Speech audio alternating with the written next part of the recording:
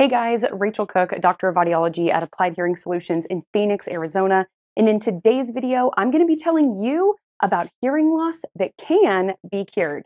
Coming up.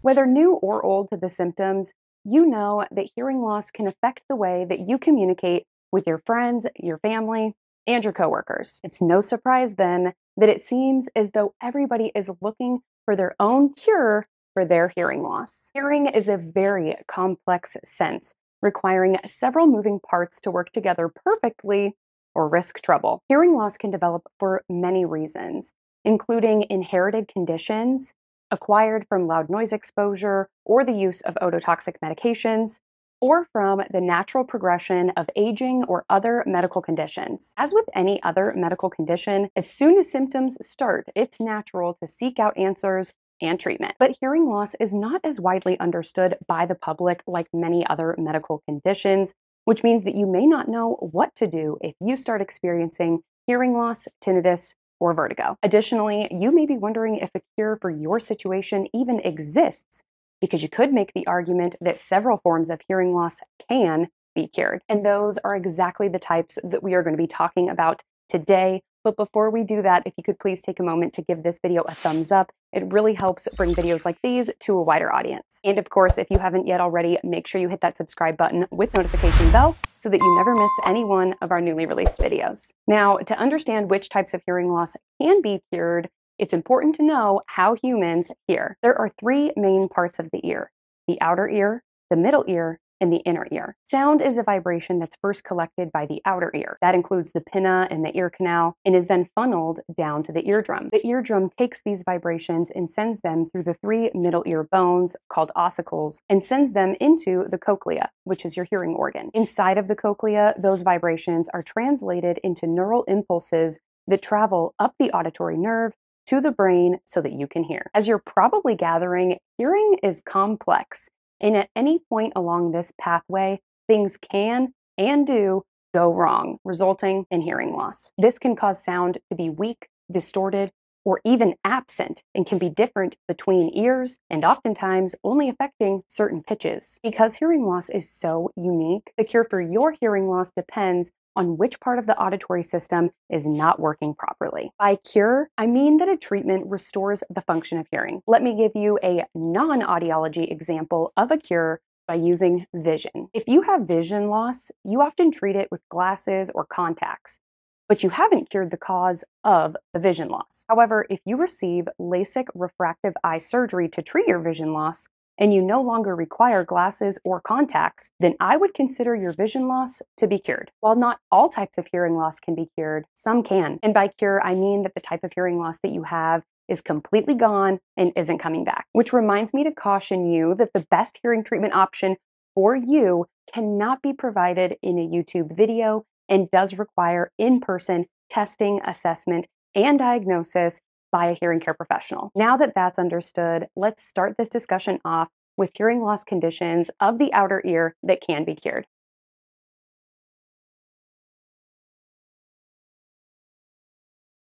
Because the outer ear is used to capture and funnel sound waves down to the eardrum, their pathway needs to be clear and free of any major obstacles. And perhaps the most common blockage of the outer ear is due to earwax buildup. Earwax, in small quantities, is totally natural and should work its way out of your ear through jaw movements like talking and chewing. However, depending on your ear canal size and shape, you may create more wax than your ear is able to remove on its own. When the earwax builds up to the point of blocking off the entire canal, this can result in up to 30 decibels of hearing loss across frequencies, oftentimes reducing the same amount or even more sound than earplugs. But earwax isn't the only thing that can block this path. Children tend to stick all sorts of things in their ears that can block sound, and even adults can get the ends of cotton swabs or hearing aid domes stuck in the outer ear. The cure for this hearing loss is simple.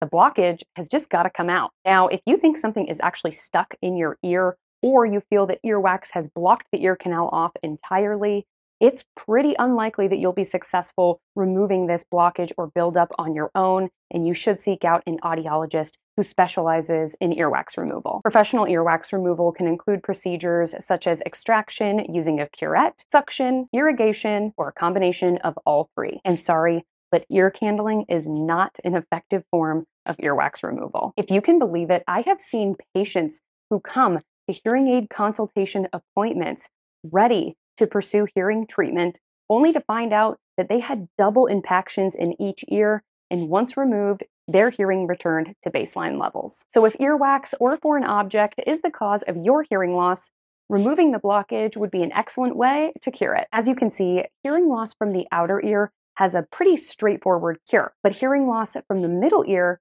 is definitely more complex. Once sound waves have successfully traveled through the outer ear, they vibrate your eardrum. For this to happen, the eardrum has to be intact and functioning properly in order to be able to send those vibrations into the middle ear. A hole or perforation in the eardrum can negatively impact the reception of these sound vibrations. And this is your warning that if you don't like the sight of blood, to look away from the screen for just the next few seconds. Whether damage to the eardrum is self inflicted, like in the case of a cotton swab pushed too far, or occurring from an ear infection so severe that it ruptures the eardrum, the tear can result in moderate amounts of hearing loss, mostly in the low pitches. In most cases, the eardrum can heal itself, but in more serious or chronic cases, this may require medical intervention. In office procedures and surgeries can be used to repair a damaged eardrum often restoring normal hearing, meaning that the hearing loss caused by a perforation in the eardrum is cured.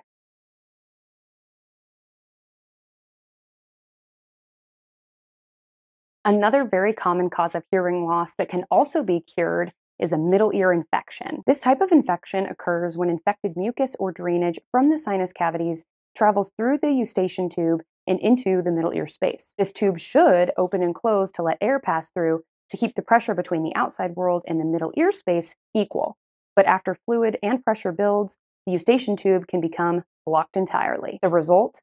Pain, pressure, and a notable hearing loss that makes it seem as though everyone is talking to you while you are underwater. While primarily seen in young children, middle ear infections can certainly happen in adults and are generally treated through the use of antibiotics. In more chronic cases where the fluid isn't draining out of the middle ear space as expected, an ear, nose, and throat physician can place a pressure equalization tube. This small tube is essentially an intentional opening of the eardrum, allowing built up fluid another route to drain out of the ear. Even without a painful infection, some people have eustachian tubes that do not open and close reliably creating a buildup of negative pressure within the middle ear space. This pressure stiffens the movement within the middle ear space, greatly reducing the travel of sound vibrations. In severe cases, this condition is also treated through the use of a pressure equalization tube, returning most of the lost hearing. I say most because some of the low pitches are still impacted until the hole is closed, but the hearing loss that you get from having a pressure equalization tube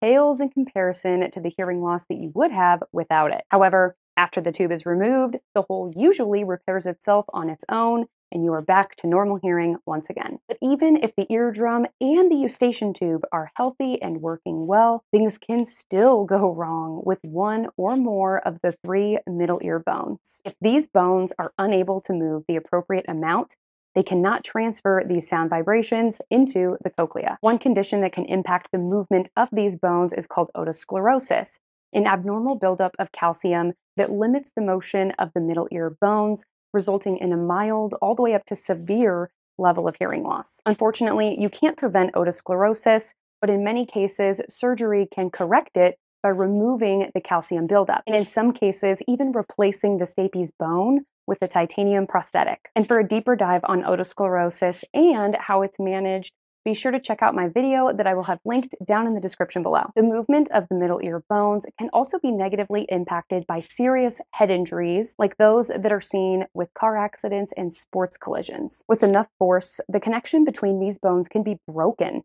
a condition called ossicular chain discontinuity which is really just a fancy way to say that the middle ear bones are no longer linked together as they should be. This, of course, causes hearing loss as the pathway that the sound vibrations need to follow becomes essentially a dead end. In almost all cases, this injury requires surgical intervention in order to be able to put the bones back together again, but can result in a lasting cure for the hearing loss it caused. But assuming that the outer ear and the middle ear are working perfectly, there is still one more part of the ear that can cause hearing loss the inner ear.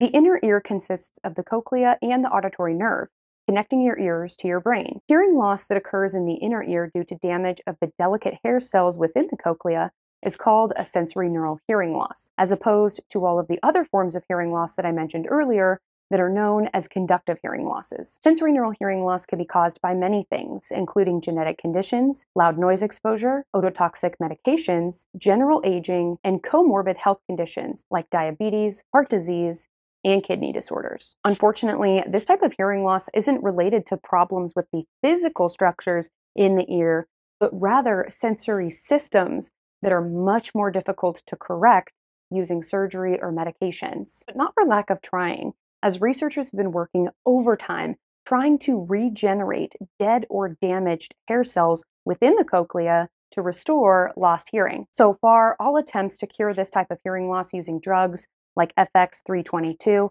and FX345 molecular therapies have been unsuccessful, generally meaning that this type of hearing loss has no cure yet. However, there is one form of sensory neural hearing loss called sudden sensory neural hearing loss that some people consider potentially curable. Sudden sensory neural hearing loss is a condition in which a significant amount of hearing loss develops very quickly, often overnight, and generally only affecting one ear. Researchers have a lot of theories for why this occurs, but most suspect a viral attack of the inner ear that damages the delicate hair cells within the cochlea. One cure for this hearing loss is simply spontaneous recovery, where the body essentially just cures itself. But even without spontaneous recovery, this type of hearing loss does have a treatment option that has the possibility of curing it. Sudden hearing loss is treated with either oral steroids, steroids injected through your eardrum, or a combination of both, ideally within two weeks of onset. Even with treatment, the success rate is difficult to define